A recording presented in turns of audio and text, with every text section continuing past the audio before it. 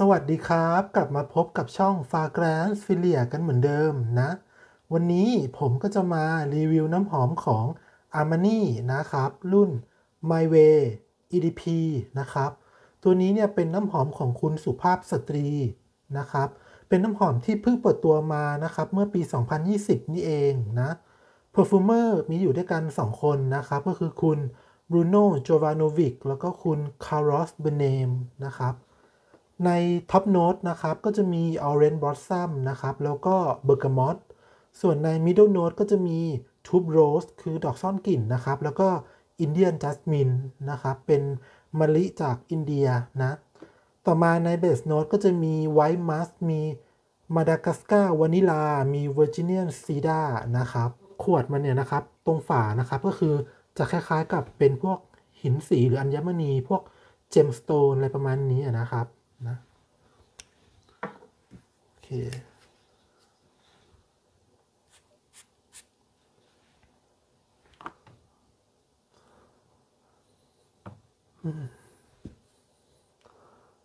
เปิดมานี่กลิ่นหอมมากเลยนะครับ คือเป็นกลิ่นฟลอรัลนะครับของดอกไม้ขาวนะ เป็น white floral แล้วก็กลิ่นเนี่ยจะมีความอมเปรี้ยวขึ้นมานะครับ จากตัวเบอร์กามอตนะนะ ได้กลิ่น white floral นี่ชัดนะครับ แต่คือ white floral ในที่นี้เนี่ย เป็นกลิ่นที่ไม่ฉุนไม่แรงแล้วก็คือเป็นกลิ่นที่ไม่ดู overpowering จนเกินไปนะครับ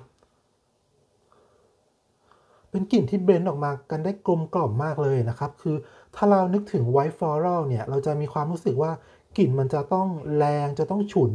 อะไรประมาณนี้เนาะถ้าฉีดเยอะอาจจะเวียนหัวใช่ไหมแต่คือกลิ่นนี้เนี่ย เป็นกลิ่นที่มีความ fresh นะครับ คือมันเปิดมาด้วย Orange Blossom อะนะ คือ Orange Blossom เนี่ยเป็นดอกไม้ขาวที่มีความ fresh ความ feminine นะครับ ความอะจะออกอมหวานหน่อยนะครับ แล้วก็ tuberose เนี่ยซ่อนกลิ่นเนี่ย กลิ่นมันก็จะมีความออกแนว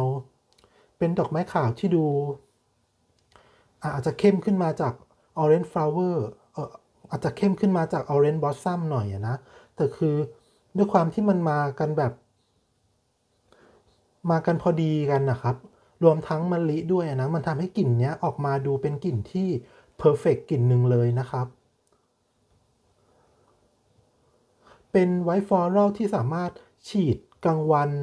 นะครับนะได้เยอะหน่อยนะครับ คืออ่าถ้าฉีดกลางวันเนี่ยอากาศมันก็อาจจะร้อนใช่ไหมตัวนี้เนี่ยฉีดได้เลยนะครับด้วยความที่มันอะอมเปรี้ยวนะครับของเบอร์กามอตเนาะกับความ fresh เนี่ยมัน ฉีดกลางวันได้นะครับ แล้วก็ฉีดกลางคืนก็พอได้นะครับตัวนี้ ตัวนี้เนี่ยผมจะนึกถึงกลิ่นของน้ำหอม YSL กลิ่นหนึ่งที่ผมเคยรีวิวไปนะครับ ชื่อรุ่นลีฟของ YSL อะนะ ตัวนั้นน่ะที่เป็นขวดสีเหลืองๆทองๆอะเนาะตัวนั้นกลิ่นจะดอกไม้ขาวเหมือนกันนะครับ แต่กลิ่นเนี่ยจะออกไปในทางดูหวานกว่านี้ขึ้นมานิดนึงนะครับ แล้วก็จะมีกลิ่นวานิลา นะครับที่อะขึ้นมากว่านี้หน่อย แล้วก็ความครีมมี่จะมีมากกว่านี้นะครับ จะไม่เฟรชเท่านี้นะ คือถ้าเทียบกันระหว่างกลิ่นนี้กับกลิ่นนู้นนะกลิ่นที่ใช้ง่าย ผมว่ากลิ่นเนี้ยอาจจะใช้ง่ายกว่ากลิ่นนู้นในระดับหนึ่งนะครับแต่คือ 2กลิ่นเนี่ยคือมันเป็นโทนไปในทางเดียวกันนะครับ คือ white floral นะ คือถ้าให้เปรียบผู้หญิงที่ใช้กลิ่นน้ำหอม กลิ่นเนี้ยนะก็คือคาแรคเตอร์จะคล้ายกับตัว YSL Libre ตัวนั้นเลยนะครับเนาะจะดูเป็นผู้หญิงที่เป็นผู้หญิงสวยอะครับคือดูเลอค่าดูสง่าอะไรประมาณนี้นะครับ ดูมีความมั่นใจอะไรประมาณนี้นะ ดูมีความหรู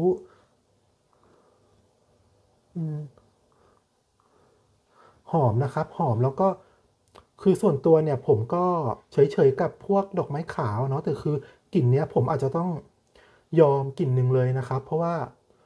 ลึกๆแล้วเนี่ยผมว่าเนี่ยส่วนตัวผมนะผมน่าจะเป็นคนที่ชอบกินดอกไม้ขาวอยู่เหมือนกันนะแต่อาจจะไม่ได้แบบชอบอะไรที่มันดูแรงเกินนะครับ ตัวนี้เนี่ยสามารถฉีดใส่ไปอะทำงานได้เลยนะครับ แต่ก็อาจจะฉีดไม่ต้องเยอะก็ได้นะครับ อาจจะสัก 3-5 สเปรย์ประมาณนี้นะมันเป็นกลิ่นที่ดูทำให้เรานึกถึงผู้หญิงที่ดูบุคลิกดีอะครับ ดูเป็นผู้หญิงที่ อ่ามีเสน่ห์เหมือนกันนะครับ คือ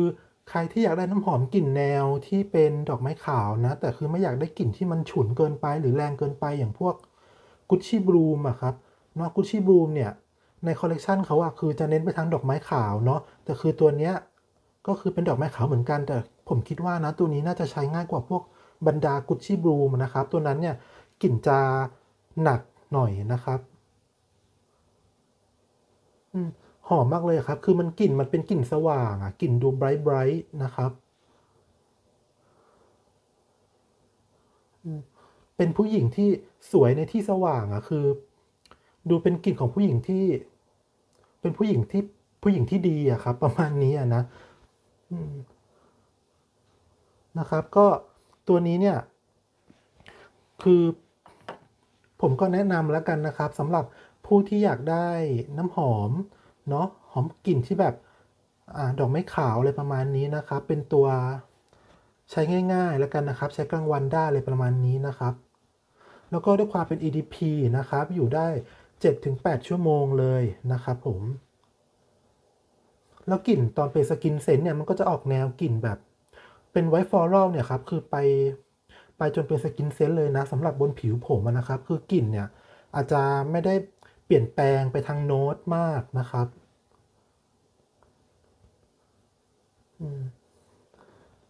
หอมครับหอมก็คือสำหรับท่านผู้ชมท่านไหนที่สนใจก็แนะนำนะครับให้ไปลองกันได้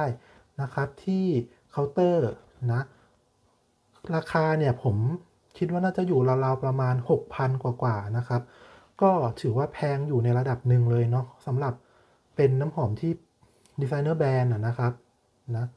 โอเคครับ ก็สำหรับวันนี้นะครับ ผมก็คงขอจบการรีวิวน้ำหอมไว้เพียงเท่านี้ละกันนะครับ ส่วนท่านผู้ชมท่านไหนที่ชอบคลิปนี้ก็อย่าลืมกดไลค์กดแชร์ แล้วก็กด Subscribe ให้ผมด้วยนะครับสำหรับคลิปหน้าจะเป็นการรีวิวน้ำหอมกินไหนก็ขอให้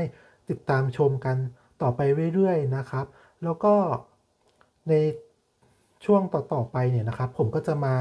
รีวิวน้ำหอมที่เป็นนิชบ้างละกันนะครับ นอกจากดีไซเนอร์แบรนด์นะครับ เพราะว่ามีท่านผู้ชมบางท่านก็ขอมาอยากให้ผมรีวิวพวกน้ำหอมแนวนิชบ้างนะครับ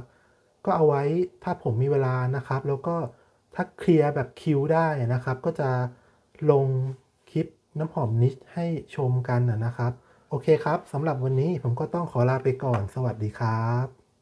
We've lost our way, what you told me lost. But tears they come to know.